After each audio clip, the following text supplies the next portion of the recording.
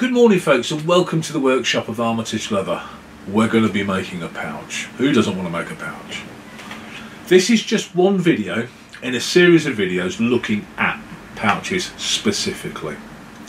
All the designs and templates totally printable and you can print off the designs, they're in the pack, glue them to card and you can work from them. There's a whole video on your template so you can have a look at that.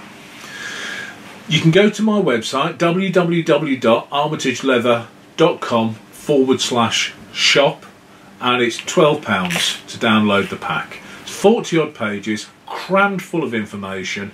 If you print all the templates off, and some of the pages you have to print twice because there's uh, a duplicate for different ends, you'll end up with 10 different designs of pouch. Now, if you were to use this pack just to cut your teeth, fantastic. You're going to learn so much. The video is going to help, the pack's going to help. If you want to make bushcraft items, perfect. You can make these pouches as intended, make 10 of each one, take them to a show, sell them, fund your craft. Awesome, and kudos to you for that.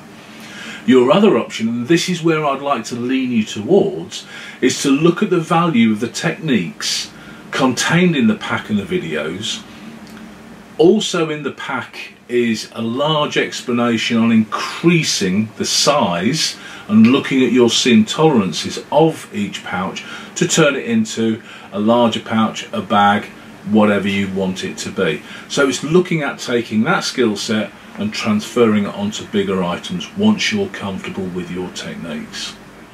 So if you struggle with any of the techniques needed to make this pack or any one of the packs contained uh, in the series of videos, you can go to my Vimeo channel. It's an online resource of multiple videos, not just on the pouches or the techniques using the pouches, it covers a whole range for many different items. All the tools and materials used in the videos to make these pouches are listed at the back of the pack. They're all hyperlinked, so if you keep the pack online, you can just click and it'll take you straight to it. If you have any questions or see any glaring mistakes, drop me an email, let me know, I'll adjust. In this video, we're going to look at the two ounce tin short gusset pouch. So, print off the sections that are relevant to this pouch, cut your templates out, glue them to card, and we're ready to work. Here we have the beginnings of a two ounce tin short gusset pouch and this is the template for the two ounce tin short gusset pouch and the short gu gusset itself. We're not going to include on this one the belt plate or belt loop but if you look at the one ounce tin short gusset pouch full gusset pouch you will see there that on the full gusset pouch there is the uh, belt loop and on the short gusset pouch there is the belt plate. So you can have a look at those. How you add them is exactly the same.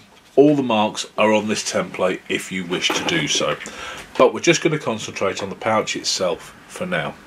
Now this is a little larger so I'm going to get rid of the tin. This is the tin that's for and this is the Sam Brown stud we're going to use. So I'm going to pop those out the way.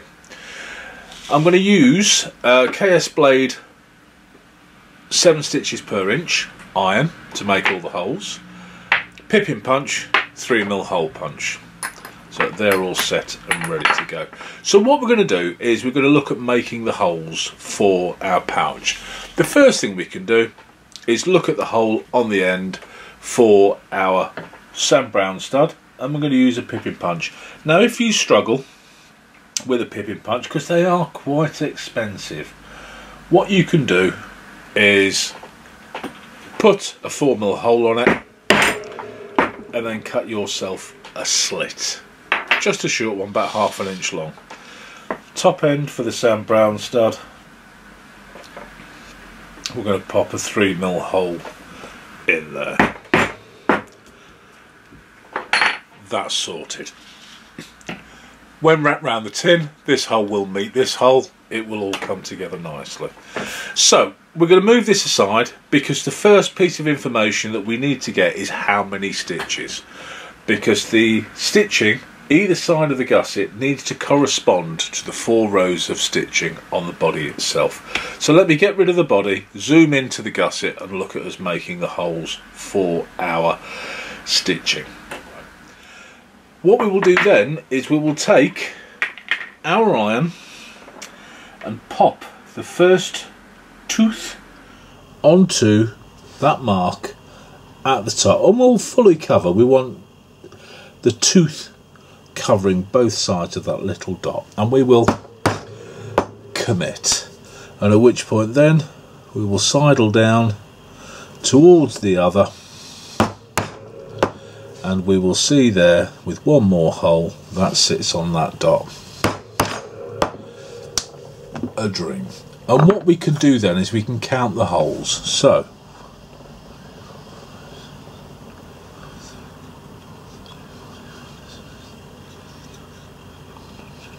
we have 23 so we can write 23 on there. And we will do exactly the same on the opposite side starting always at the top working down. At the top working down so if there is any variation in these holes the variation takes place at the bottom on both sides not the bottom of one side turn it round and then the top of the other because that would be a little bit awkward. I would twist it. So we're always working from the same side. So there we have our 23 holes either side of the short gusset. What we will do now is we will bring in the back section and this is the top hole at the back so we are working in towards the bottom so again exactly with as we did with the gusset, we will start at the top hole. So this tooth straddling that dot. When we're happy that our placement is good, we'll commit. Working our way down. And we're there. And they're exactly the same on the opposite side. Start at the top and work our way down. And this is the important thing. What we do now is we count our holes. And we have 23. So we have 23 holes front and back, 23 holes front and back. So let me add 23 holes to the front section and then we will look at taking our template to our leather. Just want to cover this point before we move forward. Now, I've not edited the video so I've not looked at the quality of what you see me do. However, uh, I can see that there is a very very mild variation in our stitch line. Now I have marked down from the top end up here 23 holes. At the bottom of the hole the tooth is actually sitting over about a millimetre but it's sitting over a millimetre on both sides so the holes are consistent. That's important. And there are 23 of them. So if we now look at the back or not the back, but the uh, template itself, we can see that that extension is repeated on the stitch line. And that extension is repeated at the bottom of the front line, the bottom of the back line, on both sides. So in truth I could go back to the pattern and extend these lines another millimetre. And that wouldn't be an issue at all. But in truth that would only matter if I could guarantee you were using KS Blade Punch number 7 irons. And I can't. You, you may be using any number of different irons that you have available. And the truth of the matter is that dot here is not a target it's a guide so the idea is not to land on it perfectly, but get as close to it as possible. The distance between these two holes is a certain distance. But if you increase that distance by having 22 holes either side and stopping a little short of the dot or decreasing the distance by going over the dot slightly like I have. It makes absolutely no difference. What happens is this loop at the bottom of the pouch either is a little smaller or a little larger which means this gusset drops down a millimetre or rises up a millimetre in truth it makes exceptionally little difference. And just to show you I have two pouches both with different size loops or holes. You can see there it makes no difference at all. This being that close makes it difficult to stitch. This is an ideal distance so it's close. But again it's a guide. It's not a target. I just thought I'd throw that in there if you were having a crisis over this last tooth not hitting that dot perfectly. It doesn't matter.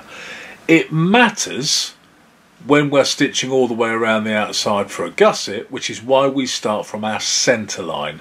And if our tooth drops short, as long as both of them are the same, again, that's absolutely fine. So, let's move forward, take it to the leather, start scribing, marking out, and then we cut out our pieces. The template is fully prepared. So what's next is let's take it to the leather. We'll get rid of the short gusset for the time being. The next course of action is to find a nice piece of leather. I'm happy with that. Got some striping going on. This is a piece of two and a half mil thick Metropolitan Lamport leather. It's dyed through shoulder, really, really nice. Very easy to work, very forgiving. Beautiful to stitch. So what I'm doing first is scribing up all of my external lines. And this is the lovely thing about having such a firm card to work to. I shall take my pippin punch and press that on. I shall take my 3mm punch and press that on and then I shall use a sharp scratch awl and I shall mark the beginning and end of my four rows of stitching. If you're adding a loop or a plate this is the point that you'd mark the beginning and end of your further two rows here. I'm not, that's done. So, what's left to do now is trim or cut out. So we're following that lovely line that we've just created. Nice bit of pressure, very important cut. Let's not fight the leather. Let's score the leather nicely. Come back. Follow it through. Take our time. We have a very consistent and even cut. We can see no line on either piece of leather. That's a good cut. If we hammer at it with the intention of going through in one hit yes we have a very nice polished edge but a polished edge in the wrong place is no use. So don't fight it. Take as many cuts as you need to have a slightly less polished edge. Although to be fair, it's not bad.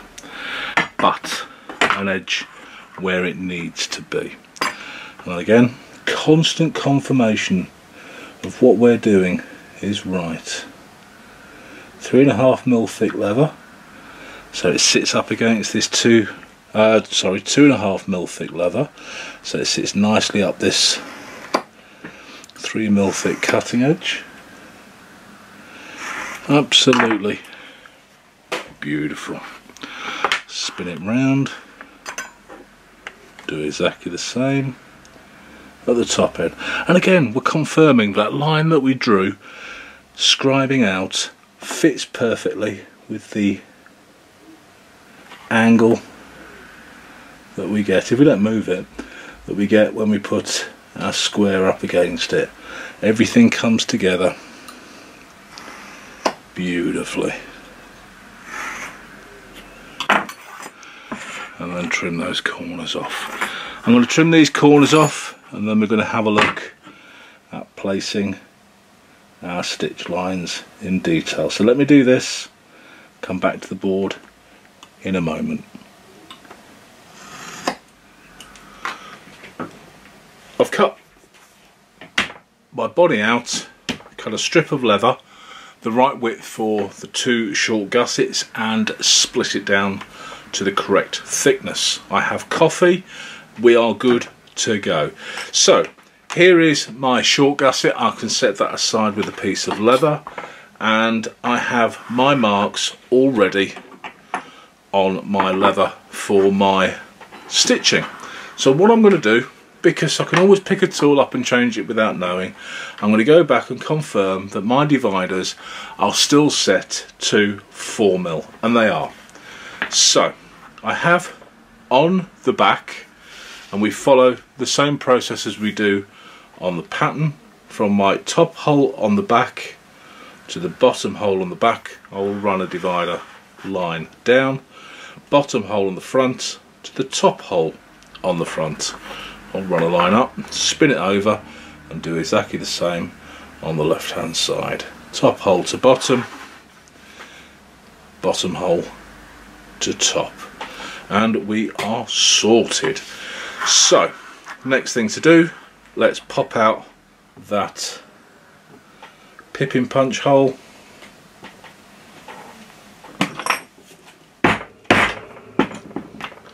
Not quite, let's hit it again, like we mean it. No!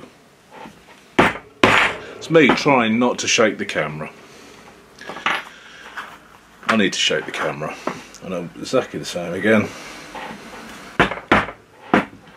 3 mil hole at the front for the post. We are good. So what we're going to do now is we're going to bring in our pad and our irons. And we're going to work exactly the same way that we did when we were doing our template. We have, and we have it written down somewhere, refer back to it, 23 holes did we write it down? We did. 23 holes, so we've confirmed. So we know it's 23 holes we need. So what we will do now is we will start top on the front, right hand side.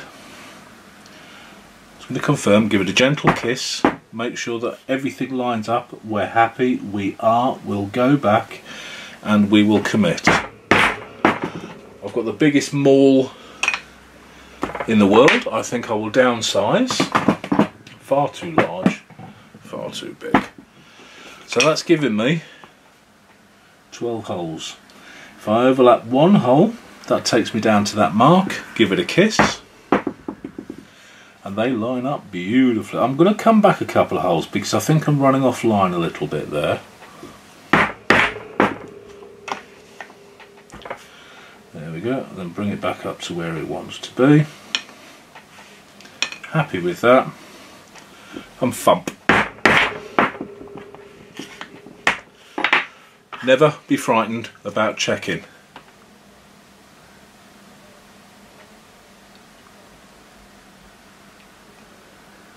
Twenty-one, twenty-two, twenty-three. Sorted. Exactly the same now on the left hand side.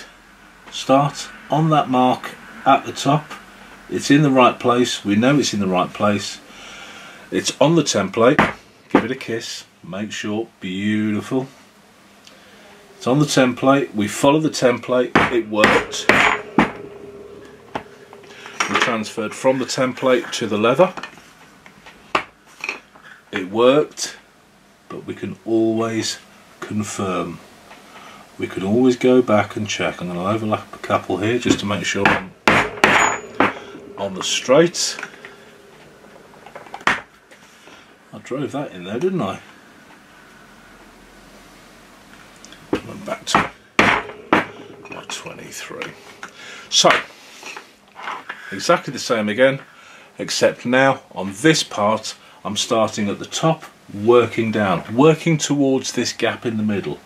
If this gap increases or decreases from that listed, it doesn't matter. As long as the top hole on the back, the top hole on the front are constant and the same amount of holes are used to go towards each other, it will work. Simple as that. Your issue will come if you get your measurements wrong and you start at the top here, work your way up, and start at the end here, work your way up. That's where it'll change. But we're working towards a curve, this bit down the bottom, so always work towards that curve. Work towards that curve. Top hole back, top hole front. That's what we're doing. That's where our consistency lives. Change that and we can introduce errors that do some bizarre things to our pouch that we don't want. So to avoid it, introduce that level of consistency. So, I was going to cut to the end so you didn't have to watch me do this, but as it happens, you've watched me do it. So, four rows of holes, all 23 long. The next thing now, let's bring our gusset back. We will go to our trusty cutting edge, nice and thick, and what we're going to use is a square, and we are going to trim off one end, nice and square. Nice and slowly, nice and gentle. Don't fight the leather. If you go too hard, what will happen is you'll drag that leather out from under the rule and you'll have that little kick that I dare say some of you may find familiar. So, we're good. We have a measurement somewhere. No, we don't. Gonna have to make it up, Nige. You've lost it. I have lost it. Found it. We have a measurement here. And what we can do is we can pop the card because we're happy the measurement on the card is correct. We're happy that we've cut out the card correctly. So we can use that to our advantage. We can still use the square to ensure that that angle is a perfect right angle. I can see there the square lines up with the line that I've just scribed nicely so it was a good scribe so that confirms that the template is square. Move that to one side. Do exactly the same again. Pop it on the end. And scribe. Bring it to the end of the cutting edge. Line it up against the spine. Square up against the spine of the cutting edge. And again I can see that line is perfectly up against the edge of the square nice and gentle with the knife. And I have two short gussets exactly the same length. Perfect. Exactly the same length as that. All three line up a dream. So next course of events a stitch line down either side. We can then pop our 4 mil mark on the end so we know where we're working from. And two and do exactly the same here. Now there may be an element of variation. One reason would be that we've just split this leather down and we put it under duress. This leather may be the correct length. What may happen is it could shrink. It could, it might not, but it could. So what we're going to do is going to decide on an end So we'll draw an arrow. We'll draw the arrow at the bottom. The reason being is if you draw the arrow at the bottom, when it sits inside the pouch, that arrow's down here on the inside. So as you open the pouch and look inside, you'll never see that arrow. If you draw it at the top, you'll see it. So we'll pop that back in there. So that's the end we're starting from. So we have our 4 mil mark from the end and we're working now down towards the arrow because the arrow is pointing towards the top. Give it a thump. Overlap one, come down towards the bottom, everything just lines up. An absolute ream. Look at that. So, the next course of events is going to be adding our crease. And to be fair, we're not going to crease anything until we've taken these corners off. So, how you do this is entirely up to you. You've seen me use a corner cutter, uh, which is a real cracking little bit of kit. I think on this occasion, what I'm going to do is I'm going to find a coin and I'm going to cut round the corner with a coin. So let me go and find a small coin and then we'll look at that. So, you've seen me cut round corners any number of times. Recently you've seen me cut round corners using a corner cutter. I'm going to use a coin. I've got a dime.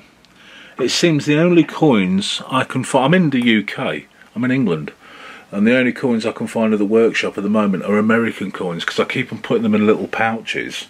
Um, and bring them home and that's they're them just left on the workbench. So uh, that's all I've got laying about at the moment. So I'm going to try and do this without getting my head in the way. I'm going to use the spine of the knife turn it upside down put it against the edge of the leather put the coin up against the edge of the leather that way. Do exactly the same here and then just confirm there and there that we're happy what I'm going to do then is straight lines. The more straight lines that I introduce to this process, the smoother the curve will be. Plenty of force down with the thumb. And when we take that off, there's our curve. So spin it round and do exactly the same on the other side spine of the knife against the leather. Confirm, when we're happy, a series of straight lines. Plenty of them. Until we're around. And again. Now put plenty of pressure onto that leather with my thumb. So I've got a couple of marks. Just take a bone folder and just rub them out. They will come out no issue at all. And when we work it, it's going to come back up and it's going to get some juice on it anyway. So, creasing. Again, we've done the purse crease and we've done the dividers as a crease and I'm, I'm really happy with the divider now what we have done in the other video with the full gusset pouch is we heated the dividers to go round this leather that was the um, oh, that was the same as this that was the Lamport what I'm going to do is I'm actually going to do this without heat. I'm just going to do this cold. I'm just going to press nice and firmly, be accurate, be comfortable. As you come down to turn your leather, make sure you've got enough space, and I'm moving stuff off camera here to make sure I've got enough space for me to turn this piece of leather. So I'm going to come down to my curve, or the curve that I've cut here and as I begin to go onto it I'm going to keep the tool where it is and I'm turning my leather and then back down towards the straight. And as I come to this side I'm going to do exactly the same again. Turn the leather and then follow it down. That's just pressure. I shall then do the gap between the stitching the top end and then the gap on the other side. I shall then run a little bit of a crease at either end of the gusset. Finally, I'm going to bevel. Now I have these Palosanto bevelers sent to me by a chap in Korea called Palosanto, handmade. He sent me the one, he's now sent me the zero and the two, so this is nice for thicker leather. So I'm going to have a play with it. And these are, first and foremost, super sharp. But really nice. I'm not entirely sure that's heavy enough for this leather, but I need to find out before I say anything to the chap. So I am playing with them now to make sure. Let's get rid of that, otherwise that'll kick up and then we'll do the inside of the flap. And again this is quite nice sharp but what I'm going to do is as I get to this curve I'm going to begin to slide off the end.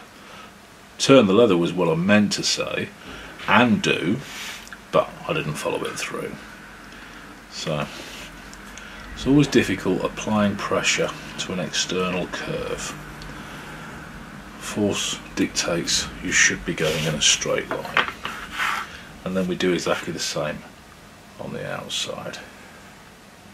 Beautiful.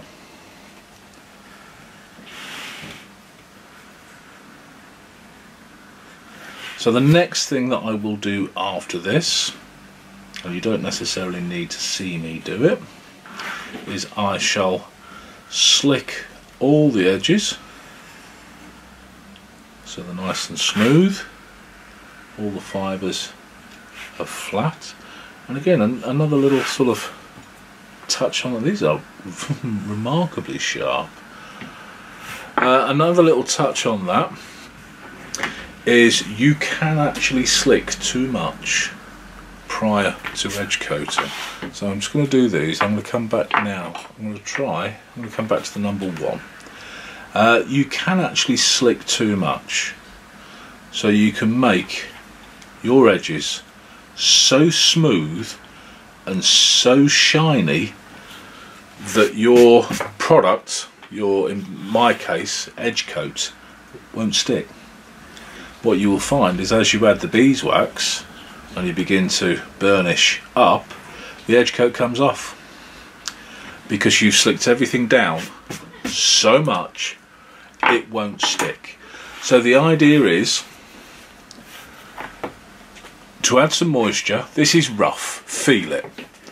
Add some moisture, slick it down, smooth, not shiny, not glass. We'll come to that stage once we put the wax on. So you want it smooth and nice and even. Once it's smooth and even, good enough, then we can add the edge coat. Moving on. We're now ready to stitch it together. It's a simple three-part pouch.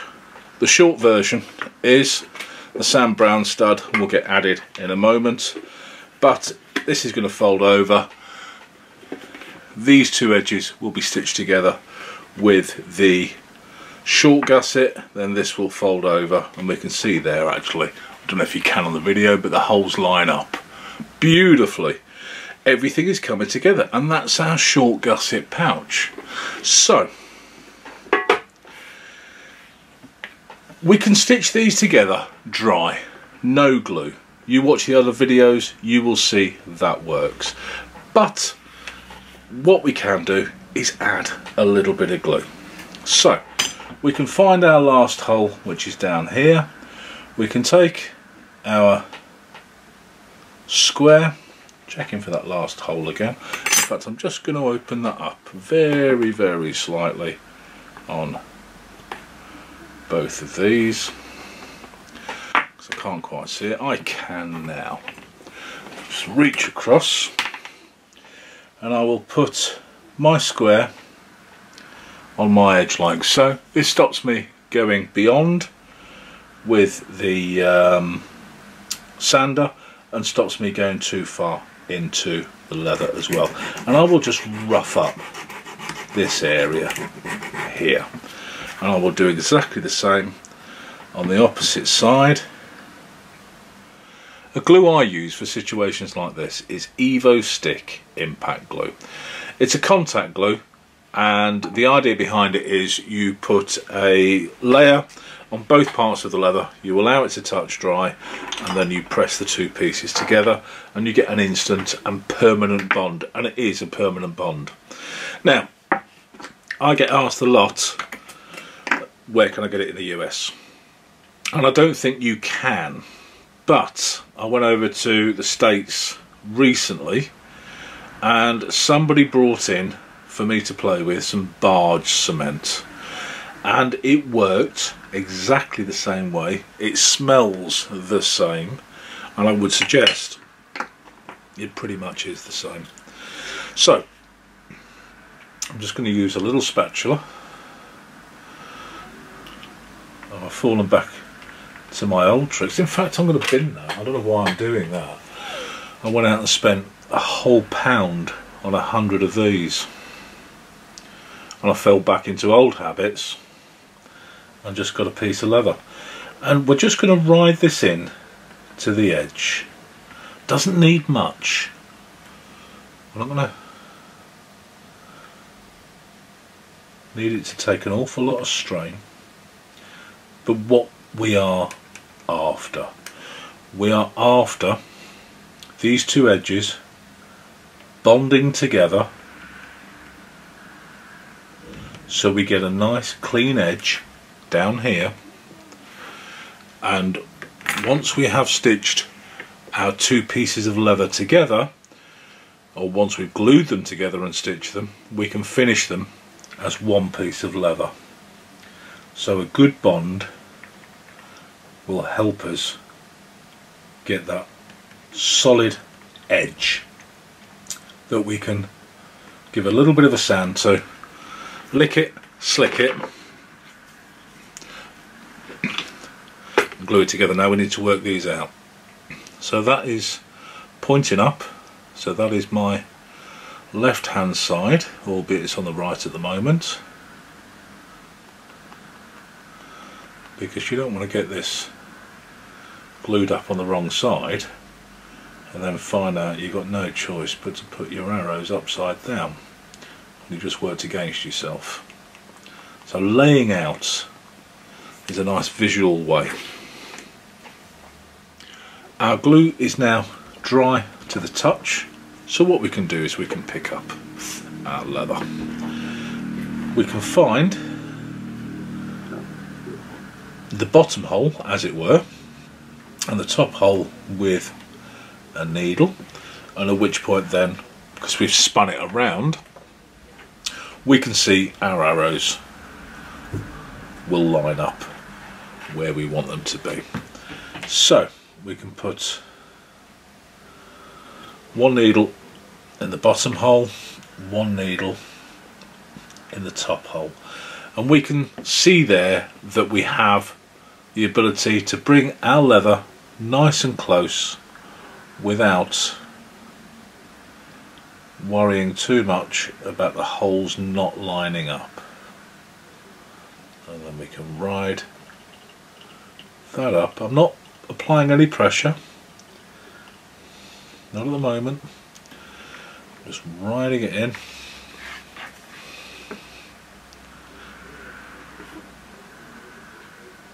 Take that needle out lift it.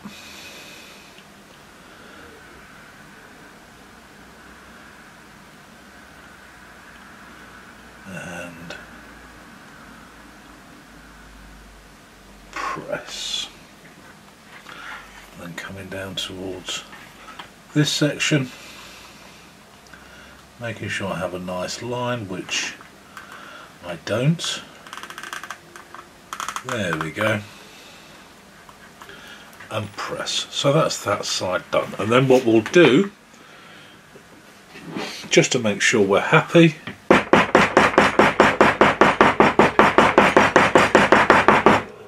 We'll tap down and that's as good as you like. Move it in the camera nudge. And we'll do exactly the same now on the opposite side.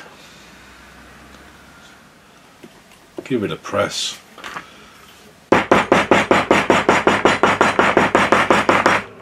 Secure that bond. And we're good to go. We can now stitch these together.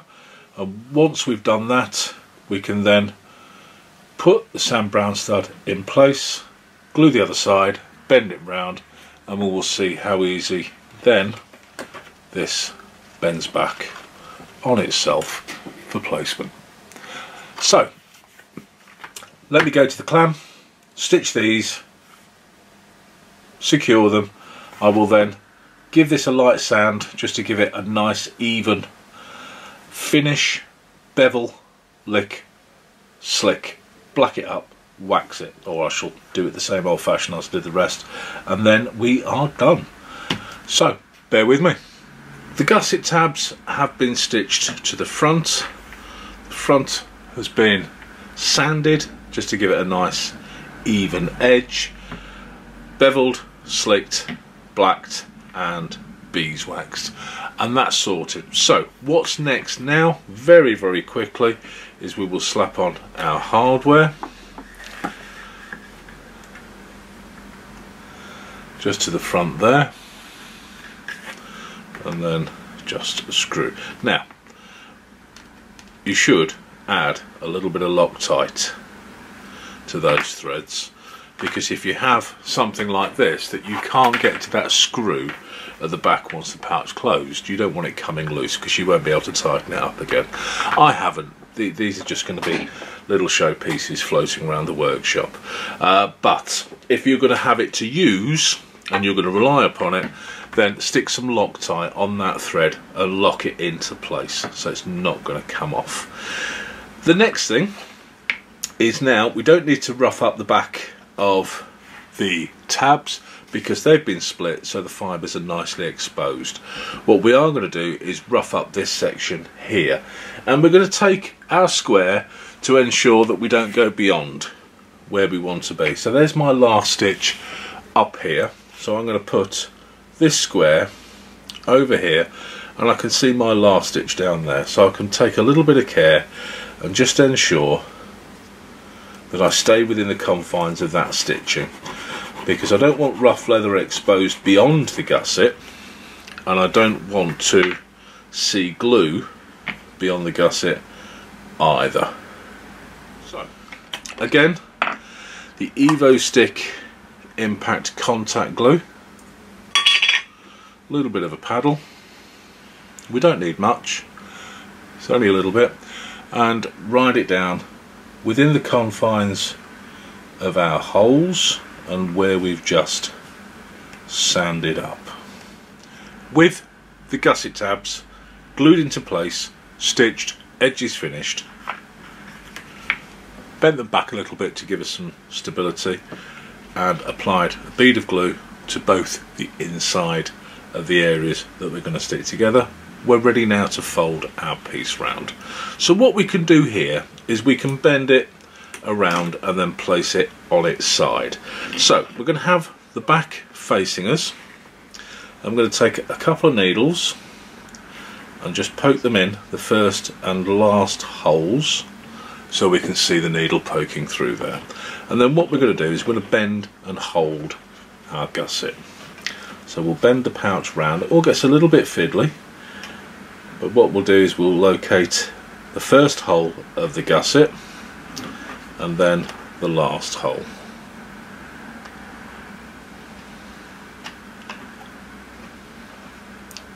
dimension fiddly? There we go.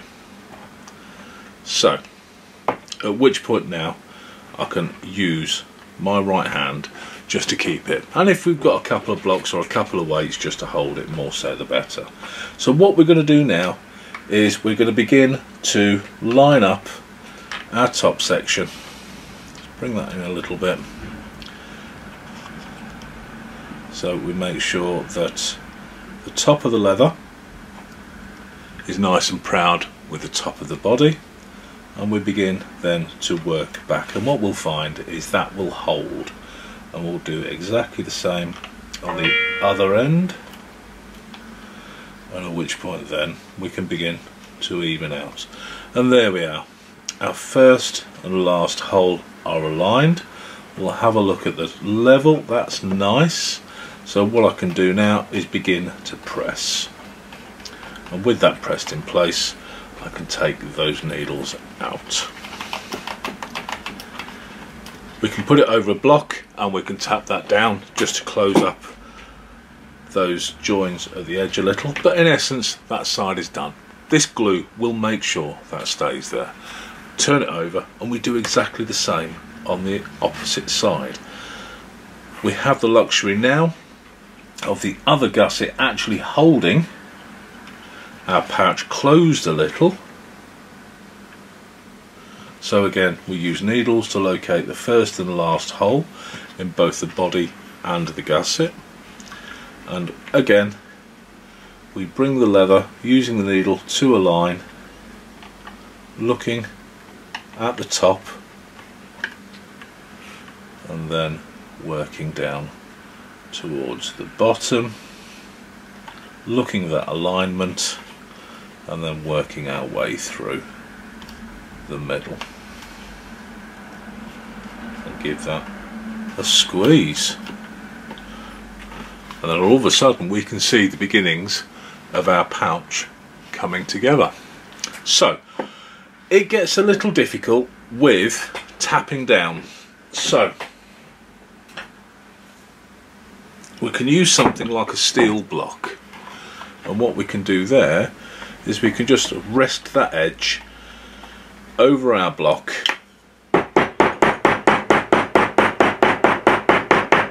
tap down over our edge. Closing off this seam here nice and tightly. That's a good bond. Spin it over the other side and do exactly the same again.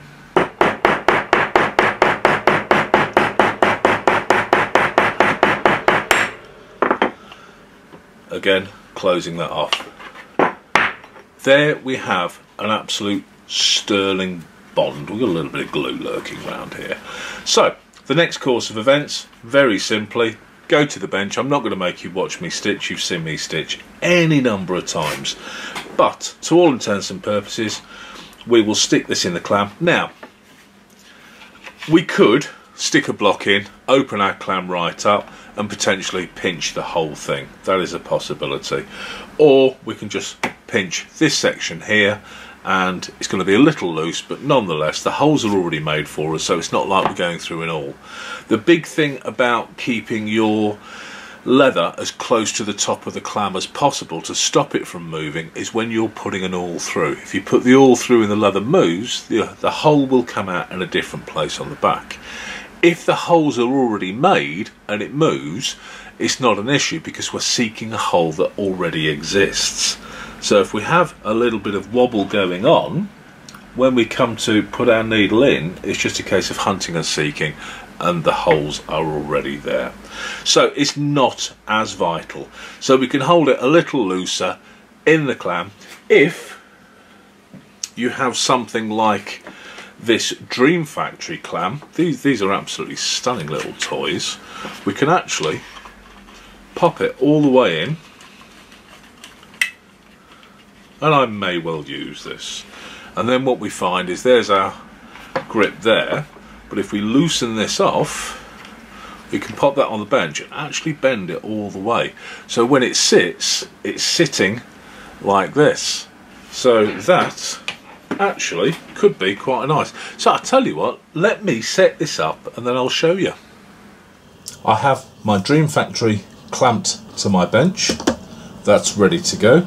So what we can do is loosen this one off and actually tilt the whole thing towards me. At which point now, what I can do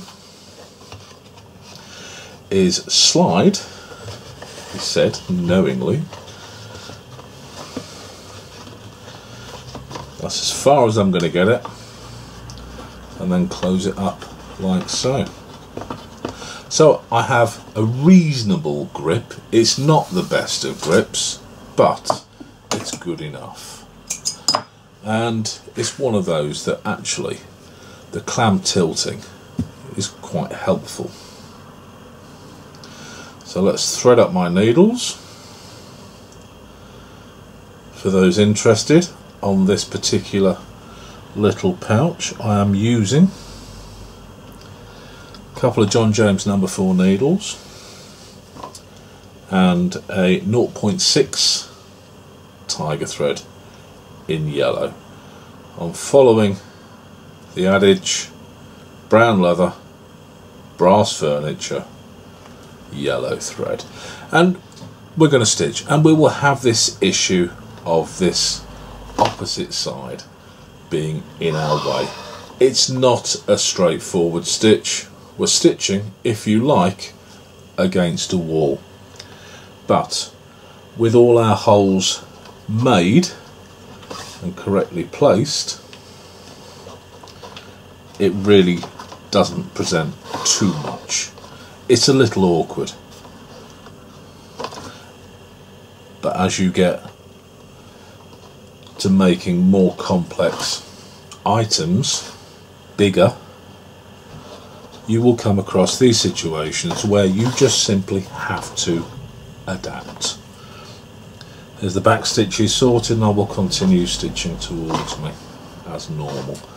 So if you're going to make something like this on a very very regular basis I'd be inclined to look at having a bar to include in the clam just to keep life simple. But if it's a one-off you make do. I'm a bespoke maker. I don't know what I'm making next. So I have learned to adapt what I have because it's not worth me buying a new clam for every different thing that I do because I may spend all that money and never use it again. Adaptability necessity is the mother of invention. If you can come up with something then do so. But folks I'm stitching. I won't make you watch.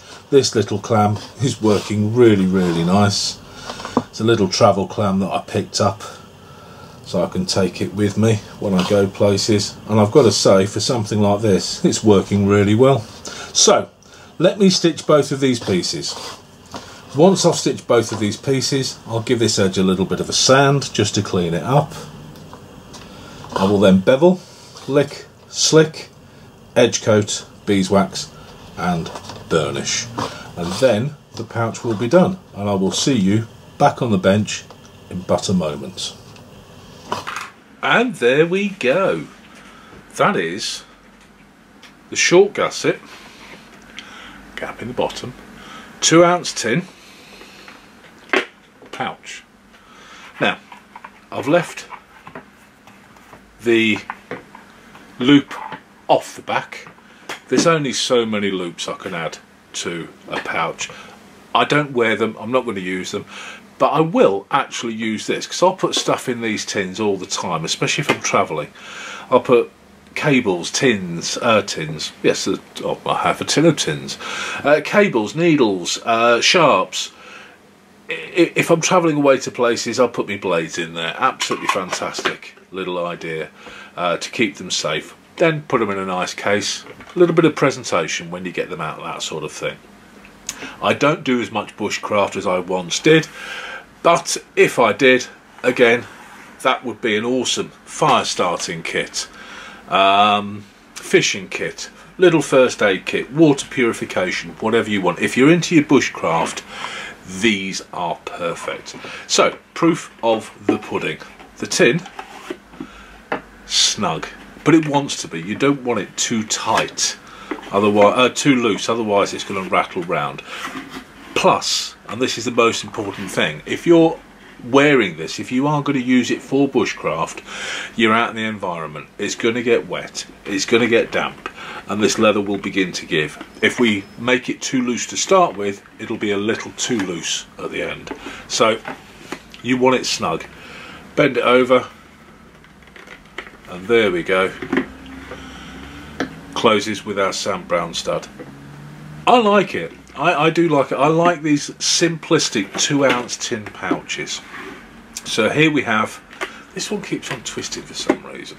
Uh, here we have the two two ounce pouches. Full gusset short gusset.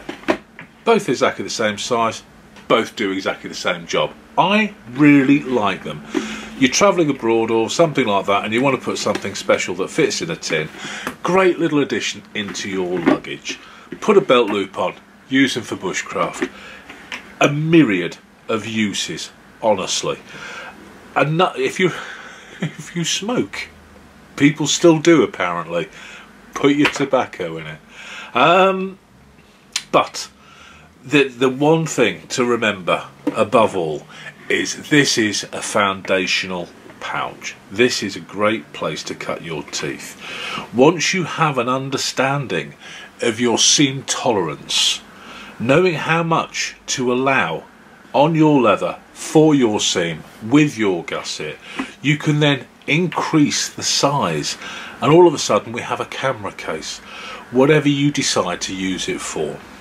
We can go for the full gusset system add four inches to the height add six inches to the width whatever that be and all of a sudden we've got a handbag. It's, it's choices. It really is. It's now your time to take this design practice with it get comfortable with it. If you want to make tin pouches like this the two ounce the one ounce the, the whatever it is you decide to do and sell them as they are brilliant. If you can make money from that, that's fantastic. You are welcome to do so. A little bit of credit would be nice.